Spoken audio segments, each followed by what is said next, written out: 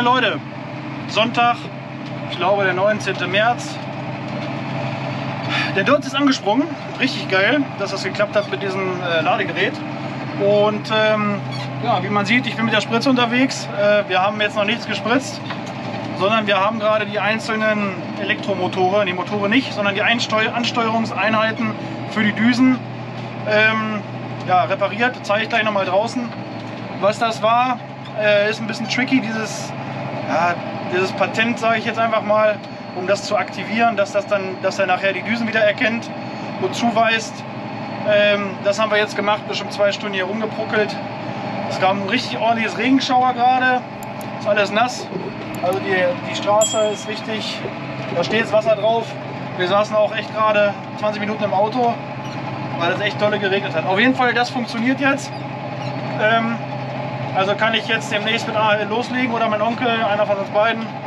Ähm, ja, dieses Teil zeige ich euch gleich nochmal draußen äh, an der Spritze. Wie gesagt, er hat halt einen Fehler hier der, ähm, auf dem Rechner angezeigt hier. Oh, jetzt flackert es hier aber doll. Und ähm, man kann die Düsen durchzählen lassen, ob er alle erkennt, ob alle funktionieren. Und äh, das haben wir gemacht und er ist bei Düse 30 stehen geblieben. Es wird immer von links nach rechts gezählt, wenn man dahinter steht. Und äh, da hat man dann auch schon gesehen, dass dieses Steuermodul nicht mehr blinkt an, dem, ähm, an der Spritze oder am Gestänge, an diesen, an diesen Düsen. Und ähm, dass es kaputt ist. So im Normalfall baut man das einfach nur, zieht die Stecker ab, baut das Ding ab, baut das neue dran, steckt die Stecker zusammen, macht wieder Strom drauf, dass das Ding durchgehend, das sind dann drei LEDs, die müssen dann durchgehend leuchten, dann hält man einmal kurz den Magnet dran, dass, der, dass das Ding zugewiesen wird. Hat aber irgendwie nicht geklappt, ich habe keine Ahnung, an was das jetzt gelegen hat. Ähm, hat dann irgendwie doch funktioniert und er findet jetzt, wir haben neu zählen lassen, er findet alle 54 Düsen an unserer Spritze, also heißt, das äh, System läuft jetzt wieder. Das nächste, was wir nochmal kalibrieren müssen, ist, ähm, einen Moment, äh, ist dieses Autoheizsystem, also die automatische Gestängeführung, ähm, die ist hier an der Seite. Die müssen wir nochmal kalibrieren, weil da ist ein Ultraschallsensor, der hat eine Macke, da habe ich schon einen neuen besorgt, der muss da dran. Wir müssen aber dafür auf einem ultra flachen Platz irgendwie, also muss ultra gerade sein, damit man das anständig eichen kann bzw. einstellen kann.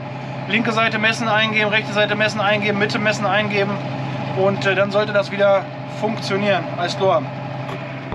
So, wir sind jetzt nochmal an der Spritze und äh, das sind die Dinger, die wir repariert haben oder getauscht haben. Diese Kisten hier, die nennen sich SMCUs. Da kommt von vorne eine große Leitung, geht hier drauf, spaltet sich auf drei kleine. Die drei kleinen gehen zu den Düsen hier unten und zu den nächsten. Da, wo seht ihr das jetzt? Da, genau. Und ähm, eine dicke Leitung geht weiter zur, ähm, zur nächsten SMCU sozusagen. So, und äh, die haben wir jetzt getauscht. Und da musste man halt, äh, wie gesagt, mit Magnet dran und äh, also ein Blödsinn. Ja, war ein absoluter Krampf. Irgendwie hat das nicht richtig funktioniert. Äh, jetzt geht es aber wieder alles und ähm, wir hoffen, dass die erstmal wieder halten. Die gehen wirklich sehr oft kaputt. Könnt ihr mal in die Kommentare schreiben, wenn ihr auch mit so einer Spritze unterwegs seid, ob ihr diese Probleme auch habt. Ja, äh, zu den Düsen. Ich kann ja noch mal eine abmachen hier. Na, komm.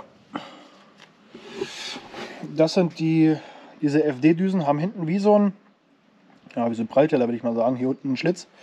Und ähm, die sollen für die ähm, Flüssigdinger-Ausbringung äh, sein. Die sollen ein besseres Bild ergeben, ähm, weil Moment, ich zeige euch gleich nochmal die anderen, die wir vorher oder die wir jetzt drin haben. Das sind diese hier. Ich weiß nicht, seht ihr diese Löcher, die da drin sind? Ähm, das sind diese Fünflochdüsen, glaube ich. Ja.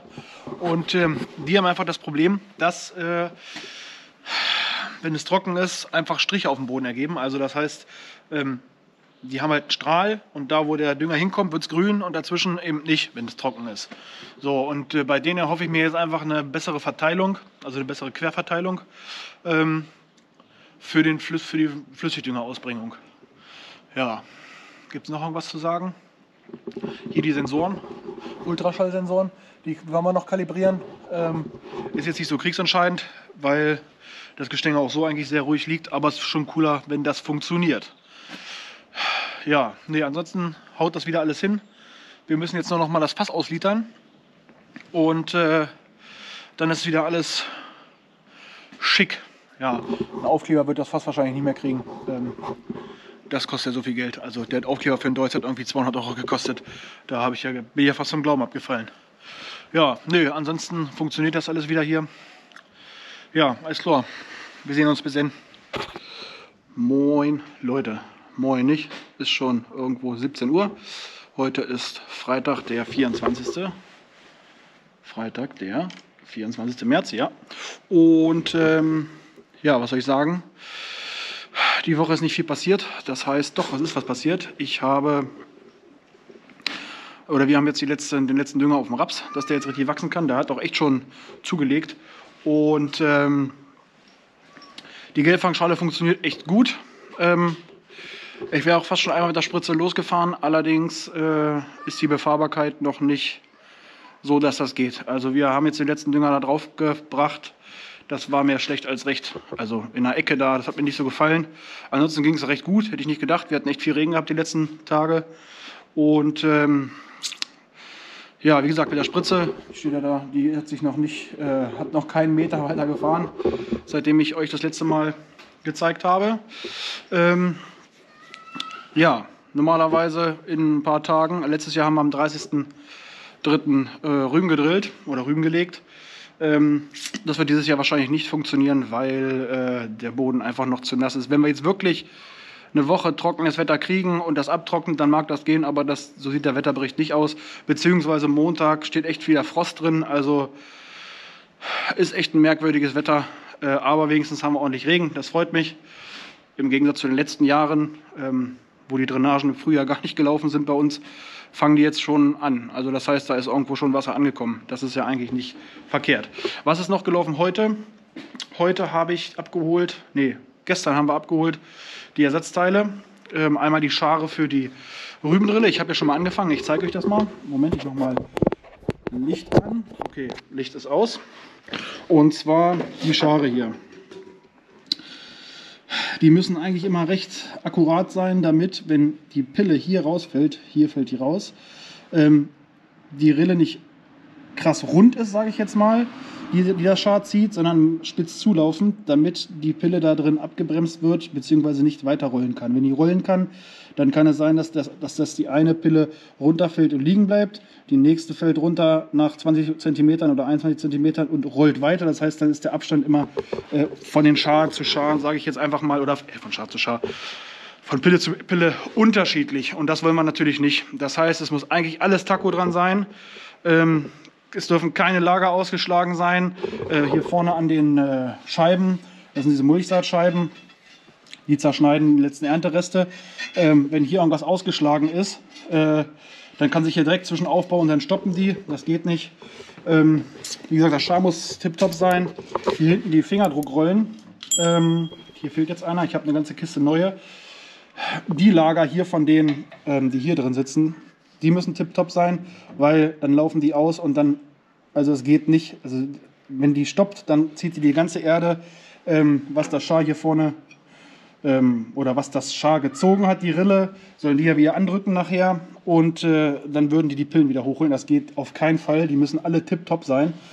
Ähm, generell, die also generell alle Maschinen müssen tiptop sein, aber das kostet halt hier schon viel Geld. Ja, so sieht das aus.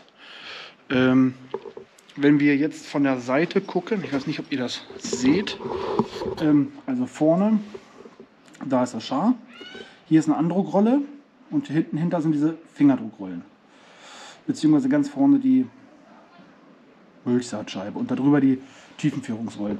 So, das Problem ist, wenn das alles nicht passt zusammen, dann äh, kann das einfach nicht funktionieren. Also wenn eins jetzt abgenutzt ist und das andere, also es muss tiptop sein. Und gerade bei den Zuckerrüben, ich habe nicht viele Hektar, äh, deswegen muss das alles hundertprozentig einsatzbereit bzw. 100% sein. So ist meine Denke. Ich weiß ja nicht, was ihr davon haltet. Also bei Einzelkornsaat, da man ja sowieso schon wenig aussieht, dann muss auch jede Pille kommen eigentlich.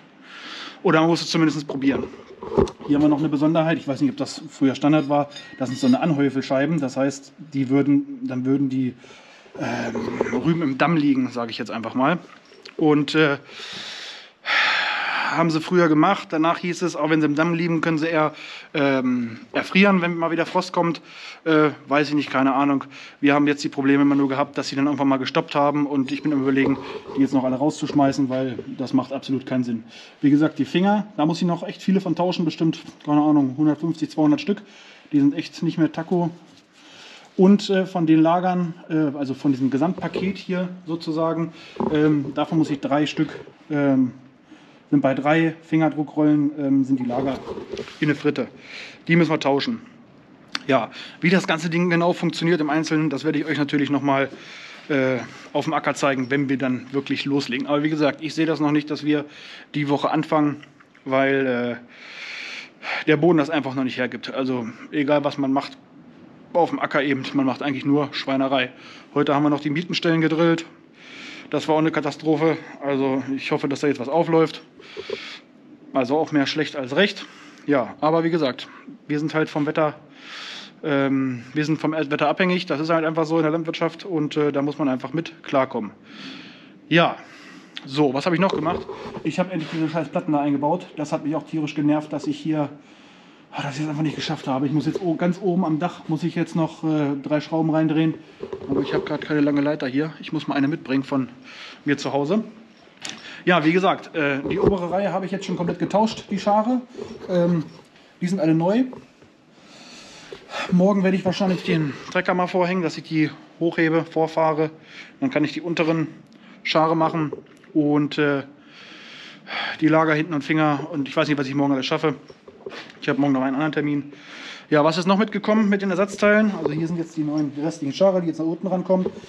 Äh, und zwar Zinken für, Zinken für die Kreiselecke. Ich weiß nicht, ob ihr das seht. Äh, seht da über, über die Kamera, sieht man das? Die sind beschichtet. Ich habe keine Ahnung, ob das jetzt was bringt oder nicht. Also die sind für die, für die Amazone Kreiselecke oder Kreiselgruber. Die waren echt nicht billig und äh, die sind mit irgendwas beschichtet und sollen halt ewig halten. Das werden wir ausprobieren. Die werden ganz einfach gewechselt. Da wird nur ein Bolzen gezogen und ein Splint. Wird der alte rausgezogen, der neue reingesteckt und dann geht das seinen Gang. Das machen wir aber nicht jetzt. Das machen wir, wenn ich Zeit habe. Es fehlen jetzt auch noch, ich glaube, fünf fehlen noch. Die haben sie irgendwie nicht bestellt gekriegt oder wurde nicht geliefert. Keine Ahnung. Ja, das ist der Stand. Schreibt mal in die Kommentare, ähm, wie ihr das, habe ich ja glaube ich vorhin schon gesagt, handhabt mit den äh, Einzelkorn-Sämaschinen. Das muss alles Taco sein, denke ich. Äh, oder ja, schreibt einfach mal in die Kommentare, wie ihr das handhabt. Oder ob ihr meint, äh, dass so ein bisschen landwirtschaftliche Luft ähm, in so einer Maschine gut ist, was ich nicht denke. Ja, für die Leute, die das nicht wissen, landwirtschaftliche Luft heißt, dass da ordentlich Luft zwischen ist. Und äh, ja, das wollen wir aber eigentlich nicht. Oder ich möchte es nicht. Ähm, das muss schon alles laufen. Als Tor. Wir sehen uns dann. Moin. Moin nicht, sondern guten Abend. Es ist Samstag, der 25. 20 Uhr. Was ist heute passiert? Heute ist passiert. Ich habe die Schare an der äh, Rübendrille weitergemacht. Die sind auch jetzt fertig. Ähm, danach haben wir in unsere Spritze mal äh, 2000 Liter Wasser gemacht, um zu gucken, ob das mit den Düsen alles funktioniert, die wir da jetzt umgebaut haben, zwecks Flüssigdüngerausbringung. Ähm, hat alles funktioniert, hätte ich gar nicht gedacht. Das war alles super dicht und äh, darauf ähm, sind wir losgefahren und haben schon mal AHL geholt. Äh, dann kam aber gleich wieder Regen und äh, hat das also auch wieder ausgebremst. Dann war ich wieder in der Rübendrille und habe die Fingerdruckrollen hinten, diese Zackenräder da mit den Gummis, angefangen zu tauschen. Also das ist ein ganz schöner Krampf. Also ich habe da eine ganze Kiste voller Dinger, keine Ahnung, 500 Stück oder sowas, keine Ahnung wie viel da drin sind.